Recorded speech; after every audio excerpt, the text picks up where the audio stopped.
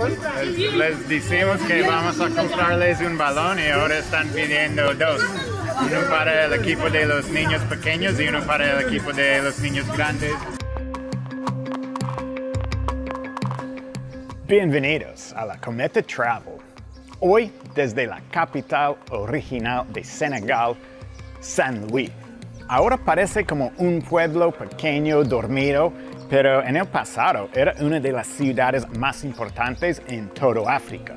Y el centro histórico aquí, todo está construido en una isla de 2 kilómetros por 400 metros. Y fue la primera ciudad fundada en el oeste de África por los europeos, por los franceses en el siglo XVII y tiene el nombre San Luis por el santo rey Louis el Noveno. Y no fue solo la capital original de Senegal, pero por un tiempo era la capital de todo el oeste de África.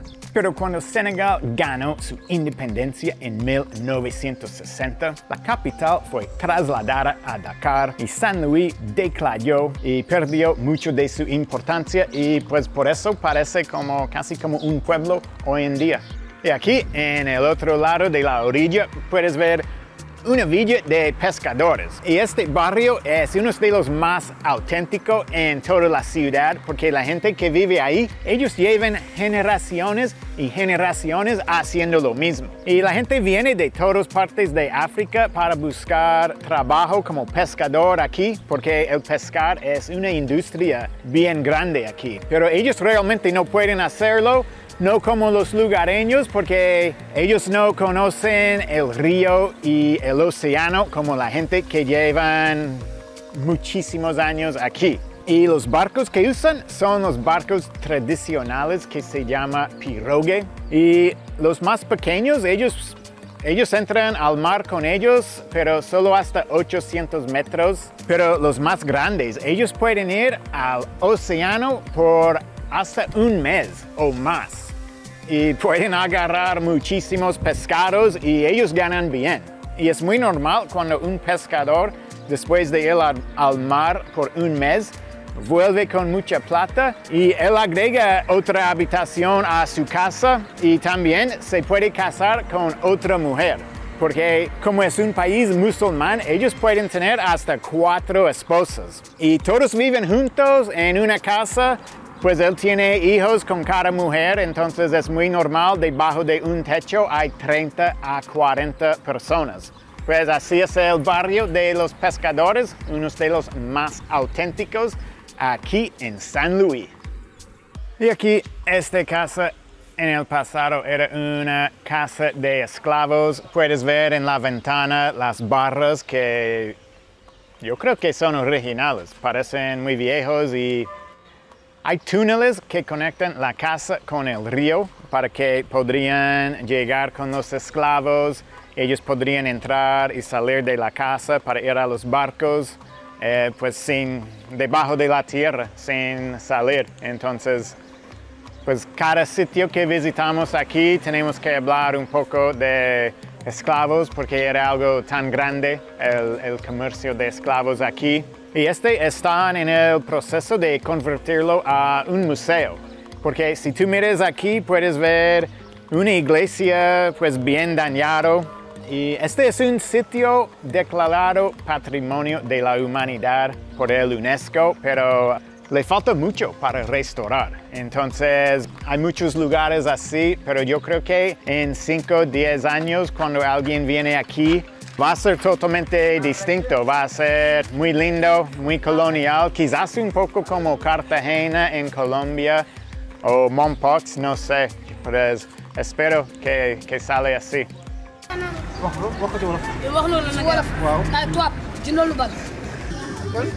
Les decimos que vamos a comprarles un balón y ahora están pidiendo dos uno para el equipo de los niños pequeños y uno para el equipo de los niños grandes. Y el guía está negociando un buen precio.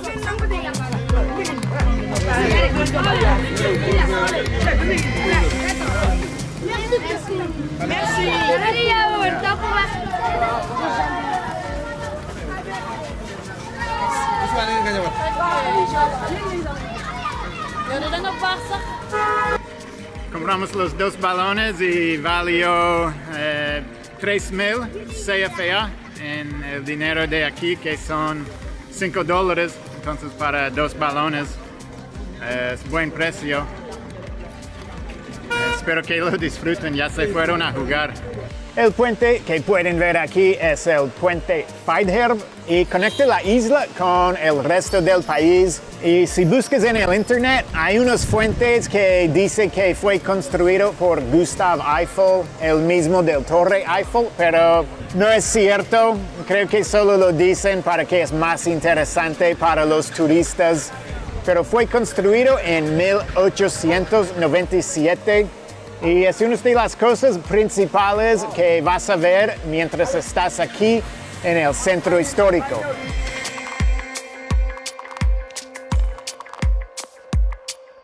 Ahora estamos en un lugar muy, pero muy especial. Es el Parque Nacional de Aves Juge y es un lugar muy importante para la migración de los aves, porque este aquí es el primer agua que uno encuentra después del desierto del Sahara. Entonces los aves llegan aquí y todos se quedan para el agua, para poner sus huevos. Entonces tú puedes venir aquí. Es una locura. Acabamos de salir en un barco y yo he ido en tours para ver aves y es como hay uno allá y 10 minutos después, oh, hay otro allá, pero este fue como, oh, hay águila allá, pelícano allá, uh, garza allá, ganso allá, pato allá y, mu y mucho más. Otros 20 que no me acuerdo los nombres y no solo pájaros, era como, oh, hay un mico allá, hay un jabalí allá. Entonces, si tú vienes aquí, es, tu cabeza va a estar así, mirando todos los pájaros y todos los animales. Entonces, es genial y es solo 70 kilómetros de San Luis y es el punto más norte en Senegal. Si vas más al norte, ya estás en otro país, estás en Mauritania. Genial. Yo, el único es que me gustaría ver eh, más pelícanos. me faltó ver algunos de ellos. Ahora estamos en un embalse en el río Senegal y este río forma la frontera en el norte entre Senegal allá y Mauritania aquí. Y Mauritania es un país más famoso porque fue el último país en el mundo que prohibió la esclavitud en 1981. Y lo prohibieron, pero no pasaron ninguna ley para castigar los dueños de los esclavos hasta 2007. Eh, es increíble, 2007 para castigar los dueños de los esclavos y tienen la ley contra la esclavitud, pero realmente no hacen nada al respecto. Entonces es difícil saber los números exactos. Depende en las estadísticas que mires, entre 2% a 20% de este país son esclavos. Yo me voy a quedar aquí en Senegal. Y ahora quizás están preguntando, pero ¿de dónde viene el nombre Senegal? Y la verdad no eh, nadie está 100% seguro, pero una historia, una posibilidad es que cuando llegaron los portugueses, que eran los primeros en llegar aquí, ellos miraron los barcos de los lugareños y preguntaron, oye, ¿cómo se llaman estos barcos? Y la gente aquí, el idioma, pues todos hablan francés, pero en la calle vas a escuchar el idioma Wolof, entonces todo el mundo aquí habla Wolof y ellos contestaron en este idioma y dijeron Sunu Gal. Y Gal es la palabra para barco y Sunu es nuestro. Entonces la teoría es que ellos dijeron nuestro barco y pues desde ahí el nombre Senegal se quedó aquí en este país. Y ya terminamos. Eh, supongo si llegaron hasta este punto es porque disfrutaron el video. Entonces si podrían dar me gusta, eh, sería genial. Y ya, nos vemos en la próxima desde otra parte del mundo. Chao.